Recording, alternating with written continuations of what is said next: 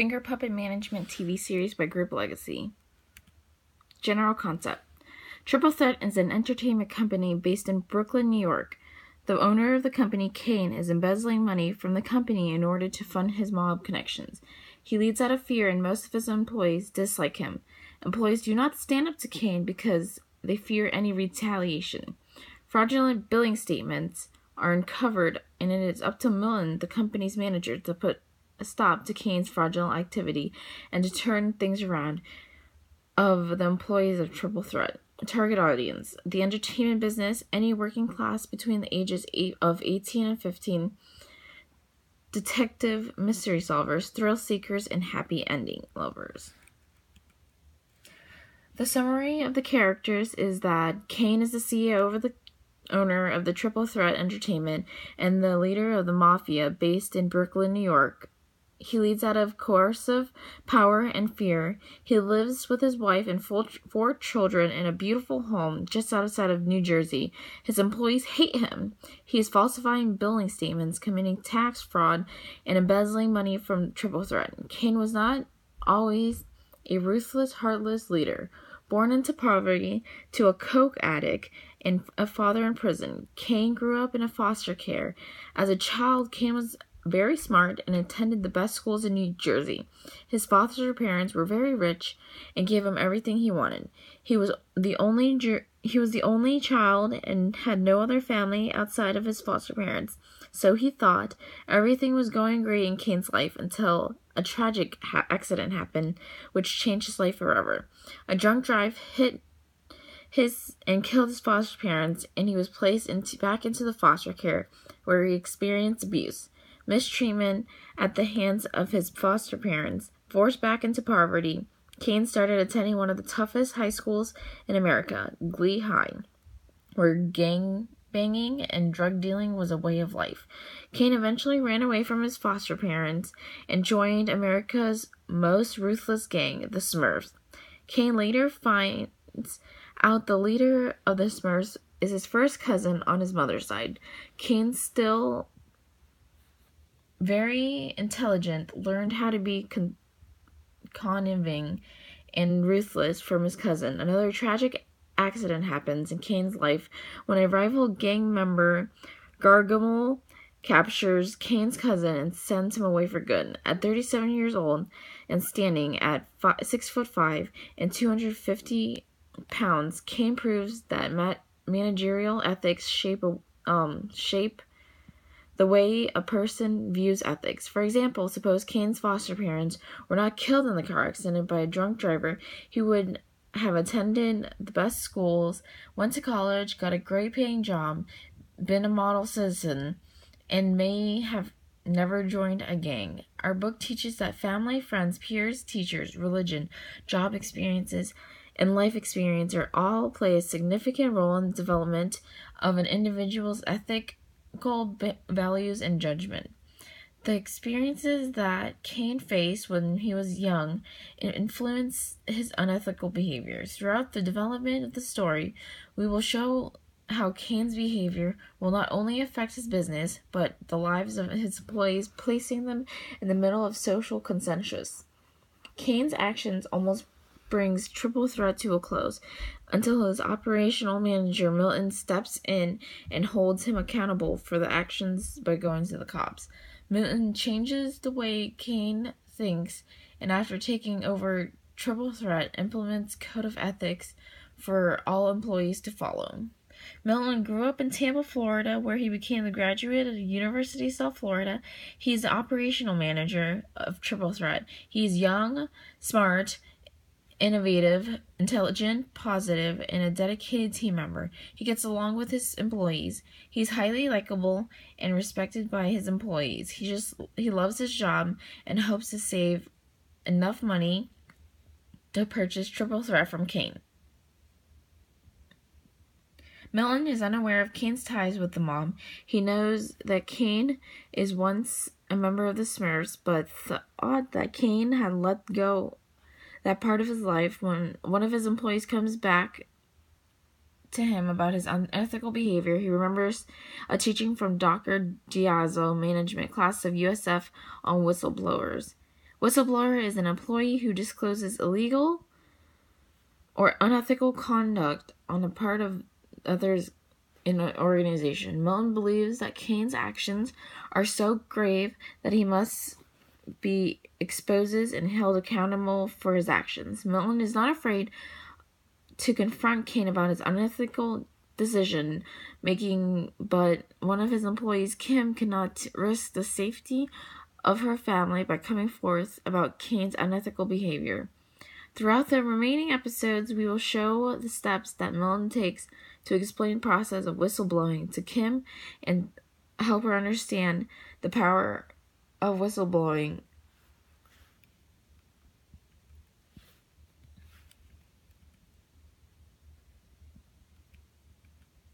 Episode 1 The Call Out. This episode will introduce the audience, the audience to the characters and workplace setting. We will show the audience how the business operates on a day to day basis. In order to set the scene for the rest of the series, we will show a scenario that depicts the major differences between Milton and Kane. This scene will introduce the friendship alliance that Kim and Milton share in the workplace. In this episode, we will create a scenario that will show the difference between Kane and Milton as managers. Managers' interpersonal and communication skills are paramount. Setting the scene. Busy entertainment business in New York City. Situation This company is owned and cr- operated by Kane. Kane is a mobster who rules his employees with the fear.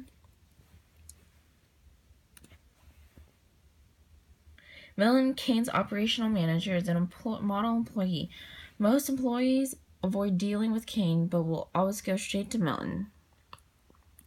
Episode 1 The Call Out. Susie, a member of the financial department, needs to call out of work because of a family emergency. Her child is in the hospital. Kane takes the call but threatens her to fire her if she does not come into work because it is, she's more concerned about her falling behind on the workload. Kim, the head accountant of the company, receives a call from a very upset Susie. Instead of confronting him, he Kim goes to Milton with her concerns about the pier. Milton assures that Susie and her, that her family should come first instead of threatening her with a loss of position. He offers her help to keep her work. Milton finds the work that needs to be completed that day and divides it between himself and the rest of the financial team. Susie is able to take care of herself and the child without the fear of losing the job, and the company is able to stay on top of their work for the day. The work is completed, and Kane doesn't even realize Susie's absence since all that he cared about was making money. Episode 2 Kim's Undercover Research.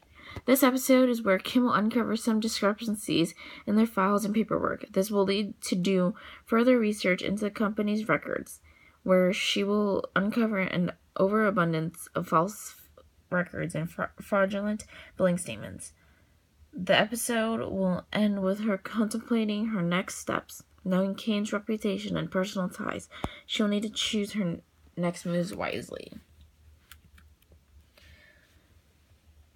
In this episode, we will create a scenario that will show Kim working in the office and uncovering fraudulent information. Moral intensity is the degree to which people see an issue as an ethical one. Moral intensity has six components magnitude of the consequence, social consensus, probability of effect, temporal immediacy, proximity, concentration of effect. Setting the scene Kim in her office. Situation She notices that Kane has been falsifying billing statements, committing tax fraud, and embezzling money from Triple Threat. She knows that Kane is part of the mafia and she cannot risk the safety of her family by going to the cops and she decides to discuss what's going on with Milton.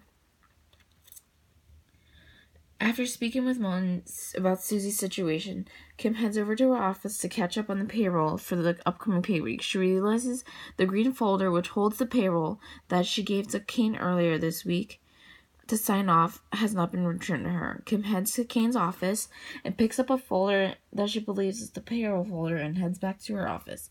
After returning to her office, she opens the folder and realizes stolen personal information from taxpayers, tens of thousands of fraudulent tax returns, fake billing statements, false payrolls for employees who do not work for Triple Threat. This leads her to, do, into doing further investigation into company's finances. She is shocked about what she finds, but she will not mention this to Kane for fear of retaliation. So she decides to go to Milton for advice.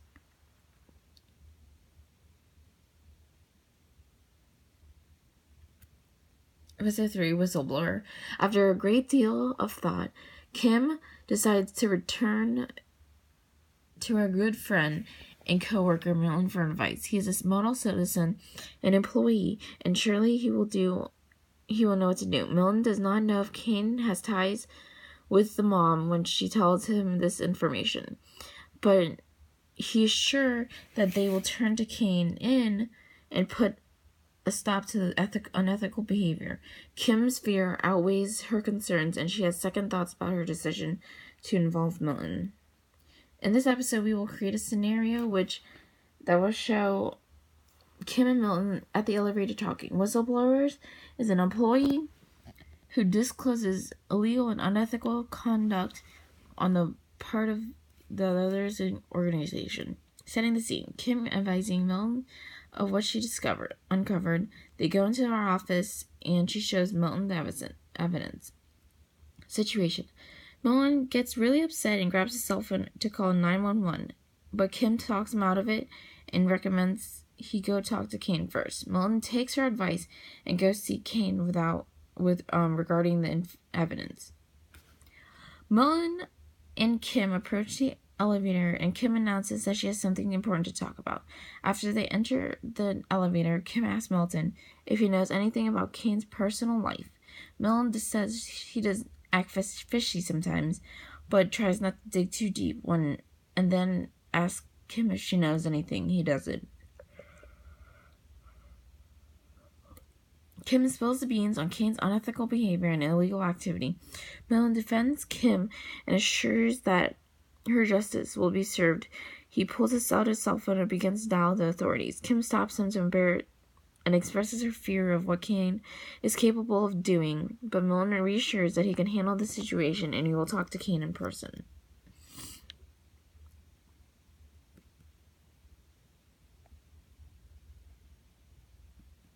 Episode 4 Kane's Pain. Milton confronts Kane's actions directly and threatens him to turn him in for the unethical and fraudulent behavior. Kane threatens Milton's safety, safety and gives him one last chance to take back his threat of exposure. When Milton shows no signs of withdrawal, Kane is infuriated and goes to hurt Milton out of nowhere. An undercover cop appears and detains Kane. Louis, the undercover cop, had been keeping tabs on Kane and was waiting for the opportunity to put him away for good. He proved to be in the right place at the right time and not only took Kane down, but saved Milton's life too. Milton is able to take over the company and turn the business around. In this episode, Milton threatens to turn Kane in for his all of his unethical behavior. Proactive recognition, effective managers, no matter what the, where they are in the organization structure, are those who can recognize the cha- need for change at the earliest possible time. Setting the scene, Milton and Kane arguing in Kane's office and Louis outside the door. Situation. Kane threatens Milton, giving him one last chance to take back his comments. Louis detains Kane once and for all. Milton enters Kane's office and shuts the door behind him. Milton shares what he knows, and this makes Kane very uneasy. Milton claims he will take the information of the to the authorities, as Kane threatens his safety if he does not take it back. Milton stays stays true to his word and then shows sign no sign of defeat. A furious Kane lunges forward to, in an attempt to hurt Milton. Undercover officer Louis hears the commotion, bursts into the door, detaining Kane and saving Milton's life. Episode 5 New Beginnings. With, Mel- with Milton as the new owner, the triple threat Entertainment is a thriving company with satisfied employees. Kim and Susie converse about how content they are with the new management and the fact that Kane now rots away behind bars. Louis enters the office as all the employees share applause and gratitude of his arrest. Milton pops champagne and pours them all into the glass as he toasts to new beginnings. In this episode, the characters come together ecstatic about the new changes of the company. Process redesign involves a fundamental redesign of business processes to achieve dramatic improvements. Setting the scene. The new and improved office of Triple Threat Entertainment under the control of Milton. Situation is celebrated. Celebration for the new beginnings of Triple Threat Entertainment. Milton places his name on the door tag in low lieu of Kane's. Kim and Susie have a conversation about their excitement for life without the presence of Kane. Louis enters the office as all employees burst into applause. Milton pops champagne and pours them all a glass to toast new beginnings. And that's it for our project.